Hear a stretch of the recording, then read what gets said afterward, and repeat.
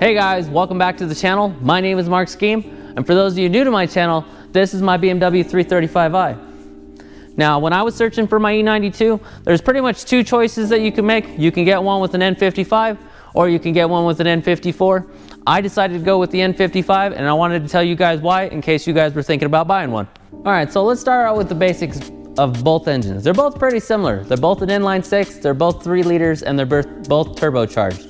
Now the N54 came out in the earlier years between 2007 to about 2010. I have a 2013, so I have an N55 in mind, which was kind of the point of the video, why I chose an N55 over an N54, so obviously I do have one.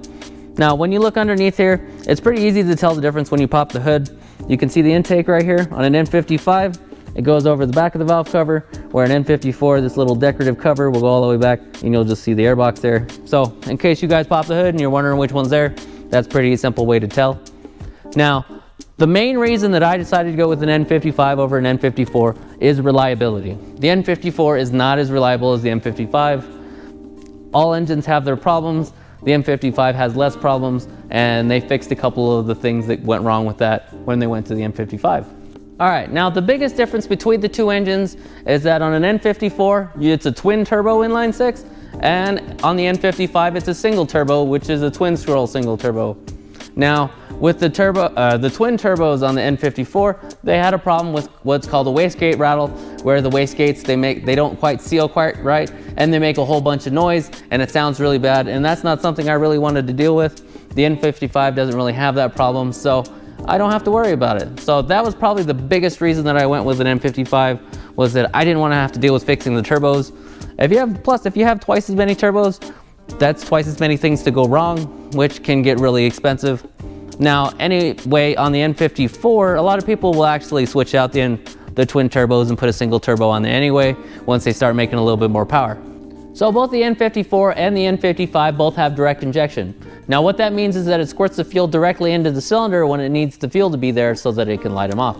Now, the problem with this is that the cylinder pressure is really high when it comes up on the compression stroke, so you need to have really high fuel pressure to offset the pressure that's in the cylinder. Now to do that, they have what's called a high pressure fuel pump in there. And on the N54, there was a bit of a problem with having them not fail. And if you don't have fuel pressure, your engine doesn't run. And that's not something I wanted to deal with because I don't want to be stranded out on the road. Now, along with the high pressure fuel pump problem, the N54 had a problem with fuel injectors. Uh, they would have somewhere where they would leak or they would just stop working. And being a direct injection engine, the fuel injectors are a lot more expensive than the old fuel injectors on regular port injections because they have to withstand all of the pressure from the high pressure fuel pump. You know, before you'd have to handle, you know, 50 to 100 psi at most on a port injection. Well, on a direct injection, they have to handle thousands of psi. So they have to build them a little bit higher quality and a little bit thicker, which costs a lot more money. So when you're having to change six injectors, that gets a bit expensive every time that you have to do it. So with uh, those few problems, is not to say that the N55 is a problemless engine. Every engine you're gonna get, you're gonna have some kind of issue that you're gonna have to deal with. It's just one of those that you're just gonna have to figure out what you can live with, what you can't. You know, it depends on what your budget is and how often it really breaks. Now on the N55, they still have a couple of the problems that the N54 does. Um, this is your oil filter housing, and there's always, the gaskets fail and that leaks. Uh, there's valve cover leaks, and there's also oil pan gasket leaks, which that one gets a little bit more expensive. Now, nobody wants to deal with any of those, but pretty much most engines out there will leak oil eventually, but these do have a little bit of a problem with those leaking a little bit more than everything else does. Uh, right now, mine doesn't leak at all, which is kind of a good thing, but I know I will have to deal with it one of these days. So another big issue that both of them have is they have a plastic water pump. Now, being that it's a water pump, it's going to be hot all the time because of the hot coolant going through there and the plastic breaks down over time. So they both have a problem with failing and it's just going to be something that you're going to have to replace every once in a while, no matter which engine you get.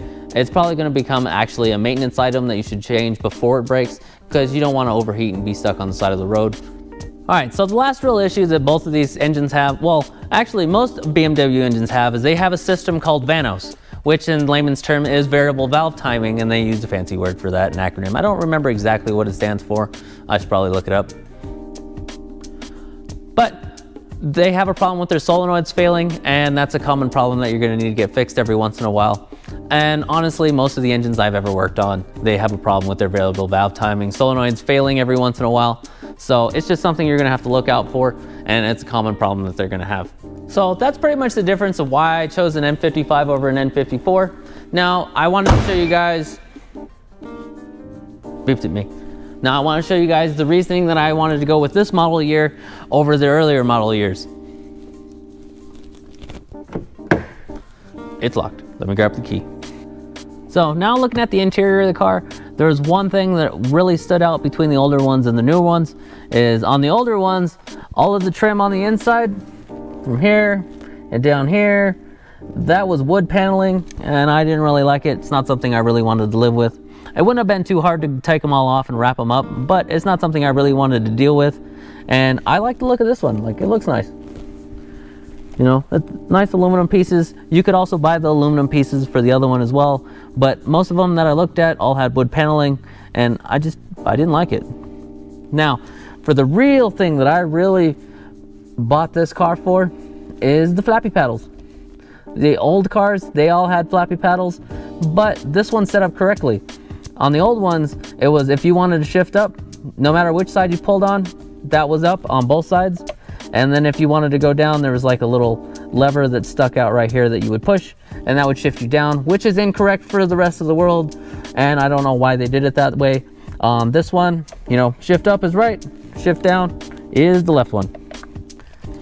I don't know why they decided to do something different. I'm not an engineer, but I didn't like it, so I went with this one. So that's my reasoning I went with the N55 over the N54 and why I bought a newer one over one of the older ones. But if you guys like what you saw, smash the thumbs up button. And don't forget to subscribe and hit that notification bell. So that way the next time I post a video, YouTube will let you know that I did and you guys can watch it. So I will also leave my Instagram link down below. I do post there from time to time. Thank you guys. I'll see you next video. Into the cylinder one. Moose. Moose is being really needy right now. Look at him. Look at the moose. Oh yeah, somebody needs their belly rub, it? You always want your belly rub.